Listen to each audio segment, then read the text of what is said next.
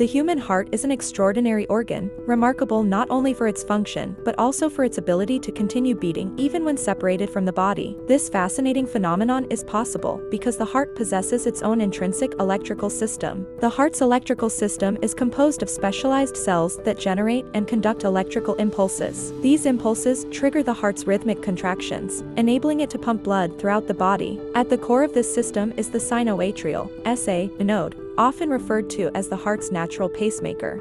Located in the right atrium, the SA node generates electrical signals that travel through the atria, causing them to contract and push blood into the ventricles.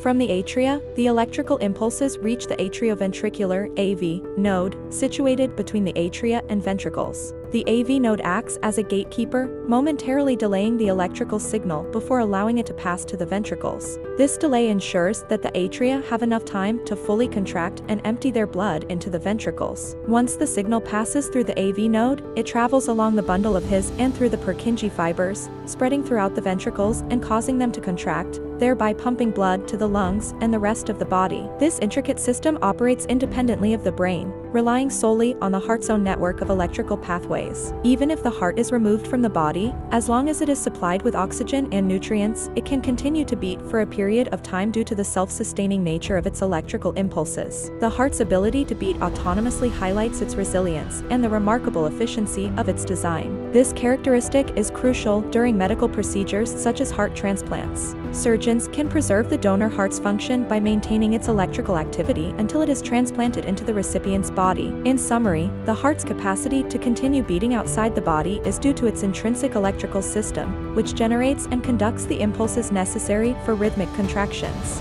This self-contained mechanism underscores the heart's unique and vital role in sustaining life.